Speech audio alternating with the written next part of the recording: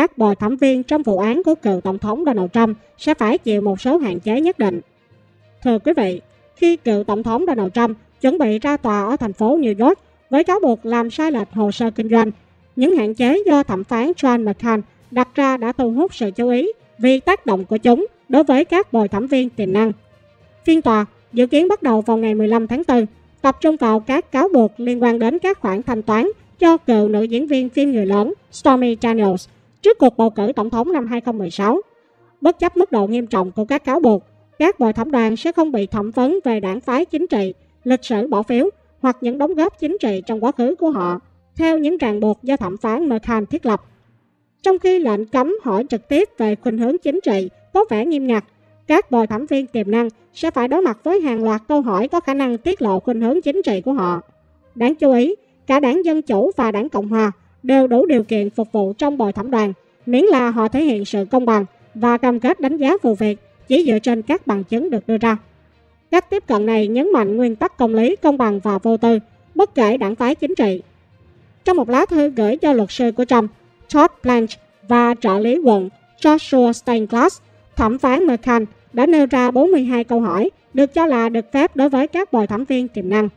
Đáng chú ý là không có các câu hỏi liên quan đến hành vi bỏ phiếu hoặc đăng ký đảng. Tuy nhiên, các bồi thẩm đoàn sẽ bị thẩm vấn về thói quen sử dụng phương tiện truyền thông, đảng phái chính trị và nhận thức của họ về cách đối xử của Trump trong vụ án.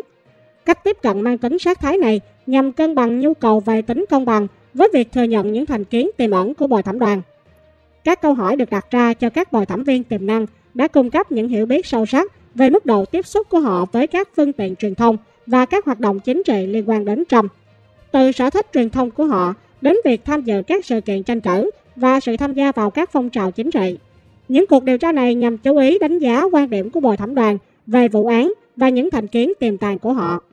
Mặc dù việc đăng ký đảng không được truy vấn trực tiếp, nhưng thẩm phán McCann thừa nhận rằng thông tin đó có thể được suy ra từ các câu trả lời khác.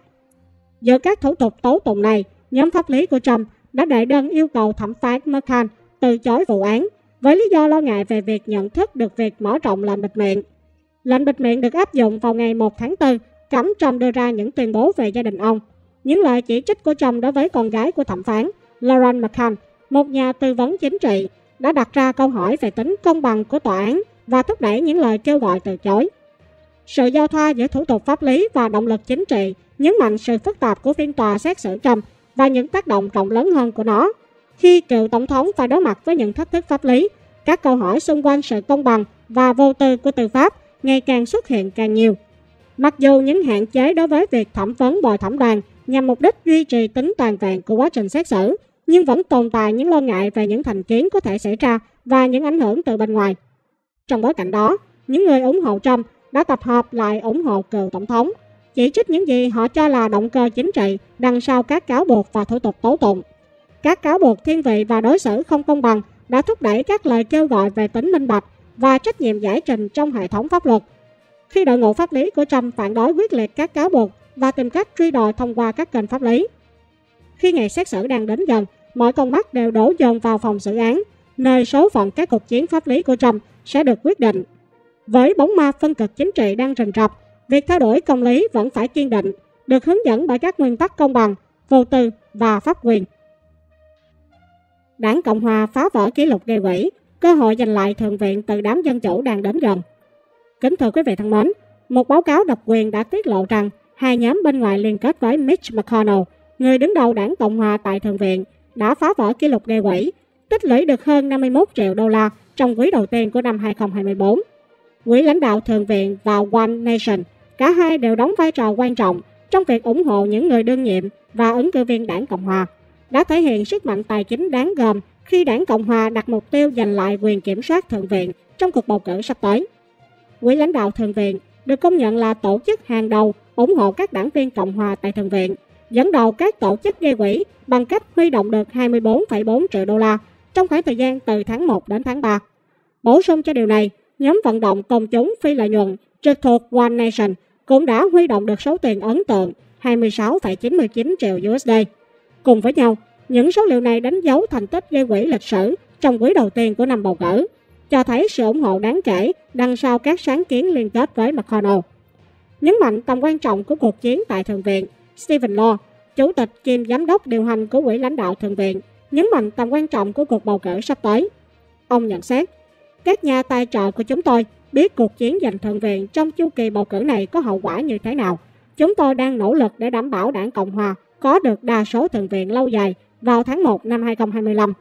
nhấn mạnh quyết tâm đảm bảo sự hiện diện kiên cường của đảng Cộng Hòa tại Thượng nghị viện. Kho chiến tranh tài chính đáng gồm được các nhóm này tích lũy, với quỹ lãnh đạo Thượng viện báo cáo có 59,5 triệu USD tiền mặt và One Nation tự hào với 83 triệu USD, nhấn mạnh sự ủng hộ mạnh mẽ đằng sau những nỗ lực của đảng Cộng Hòa nhằm giành lại quyền kiểm soát Thượng viện. Khi McConnell chuẩn bị từ chức sau cuộc bầu cử tháng 11, những cột mốc gây quỹ này nhấn mạnh tầm ảnh hưởng lâu dài và năng lực chiến lược của các thực thể liên kết với McConnell trong việc định hình vận mệnh bầu cử của GOP. Ngược lại, bối cảnh gây quỹ của phe Dân Chủ vẫn chưa được tiết lộ. Với đa số thượng viện PAC, nhóm bên ngoài chính ủng hộ đảng Dân Chủ thượng viện vẫn chưa công bố số liệu quỹ đầu tiên. Bất chấp những thành công trong việc gây quỹ trong quá khứ, sự hỗ trợ tài chính đáng gồm của các nhóm liên kết với McConnell đã làm tăng nguy cơ cho đảng Dân Chủ khi họ đấu tranh với nỗ lực kiên quyết của đảng Cộng Hòa nhằm đảm bảo quyền kiểm soát thượng viện. Tính toán bầu cử cho GOP có vẻ thuận lợi với việc đảng Dân Chủ bảo vệ thế đa số mong manh 51 trên 49 trong thượng viện. Con đường dẫn đến chiến thắng của đảng Cộng Hòa phụ thuộc vào việc giành được một hoặc hai ghế, tùy thuộc vào kết quả của cuộc đua vào tòa Bạch Ốc của Donald Trump. Với việc các đảng viên đảng Dân Chủ đang phải đối mặt với những thách thức trong việc bảo vệ số ghế ở các bang đỏ và các bang xung đột do Tổng thống Biden nắm giữ trong gan tấc, các đảng viên đảng Cộng Hòa có vị trí chiến lược để tận dụng các động lực bầu cử thuận lợi. Các bang chiến trường quan trọng như Arizona, Michigan, Nevada, Pennsylvania và Wisconsin mang đến những cơ hội quan trọng để đảng Cộng hòa đạt được những lợi ích đáng kể, tận dụng khả năng gây quỹ và nỗ lực tuyển dụng chiến lược của họ. Đáng chú ý, việc tuyển dụng cựu thống đốc đảng Cộng hòa Larry Hogan ở bang xanh Maryland nhấn mạnh tham vọng của đảng Cộng hòa nhằm mở rộng dấu ấn bầu cử của họ tại các thành trì truyền thống của đảng Dân Chủ. Trong khi đó, đảng Dân Chủ phải đối mặt với những thách thức ngày càng gia tăng với thông báo về việc thượng nghị sĩ Joe Manchin nghỉ hưu ở Tây Virginia càng làm phức tạp thêm triển vọng bầu cử của họ. Khi đảng Cộng Hòa củng cố lợi thế gây quỹ và tận dụng động lực bầu cử thuận lợi, đảng Dân Chủ đang phải vật lộn để bảo vệ những ghế dễ bị tổn thương và điều hướng trong bối cảnh bầu cử đầy thách thức. Trước những diễn biến này, khả năng gây quỹ đáng gồm của GOP nhấn mạnh tầm ảnh hưởng lâu dài và sự nhạy bén về chiến lược của các nhóm liên kết với McConnell trong việc định hình chiến trường bầu cử và định vị đảng Cộng Hòa để thành công trong cuộc chiến giành quyền kiểm soát Thượng viện. Với lợi thế cao và địa hình bầu cử thuận lợi, đảng Cộng Hòa sẵn sàng thách thức những người đương nhiệm của đảng Dân Chủ, tận dụng nguồn tài chính và lợi thế chiến lược của họ để giành chiến thắng then chốt trong cuộc chiến giành đa số tại Thượng viện.